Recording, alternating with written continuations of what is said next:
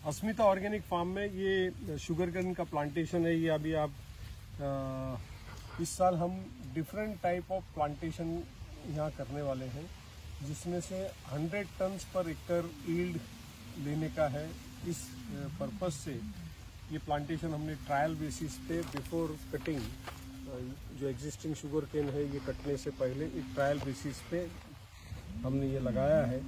और इसकी ग्रोथ को भी ऑब्ज़र्व करेंगे अगले एक महीने, डेढ़ महीने तक।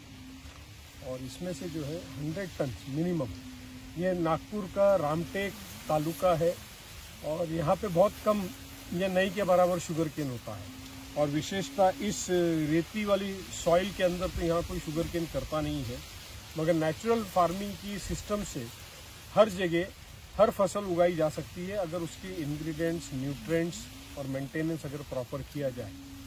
तो अगर 100 टन्स एक छोटा किसान अपने एक एकड़ में अगर 100 टन्स शुगर केन लगाता है तो शुगर केन फैक्ट्री से अगर उसको बाईस सौ का, सत्ताईस सौ का प्राइस मिलता है तो उसको दो लाख, ढाई लाख रुपए की इनकम मिलती है। ये जो डिस्टेंस अभी जो डिस्टेंस है, हम इसको और कम कर रहे हैं। इसको हम पाँच बाय दो पे लगाएँगे। मतलब दो फीट ये गैप हो गया और पाँच फीट एक लाइन से दूसरी लाइन तो ये टारगेट इस साल का हमारा है।